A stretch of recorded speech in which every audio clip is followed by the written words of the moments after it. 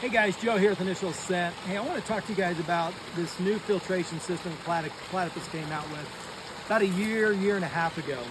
Um, I was fortunate to get one of the samples early on. I've been running with my second season now running it. And I got to tell you guys, I am totally sold on this. It weighs less than a SteriPen. It's way more reliable and it's a lot faster. You know, I had issues with my SteriPen where the batteries would go dead. You'd be in a situation in the backcountry where you couldn't get clean water. With this here, this thing is amazing. So let me show you how it works. You've got your dirty bag, and then you've got your filtration system. You've got a dirty side and a clean side. So all I'm gonna do is I'm gonna fill up my dirty bag real quick here.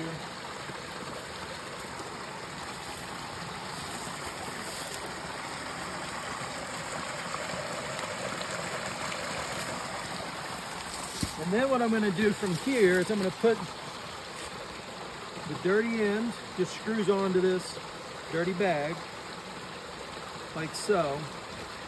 And then you've got this cap that comes up. And then from here, I'm just gonna fill up my Nalgene or my GSI. And I'm just gonna squeeze it in there. And I'll show you this flow rate. There's nothing like that on the market. I mean, that is amazing how fast that is.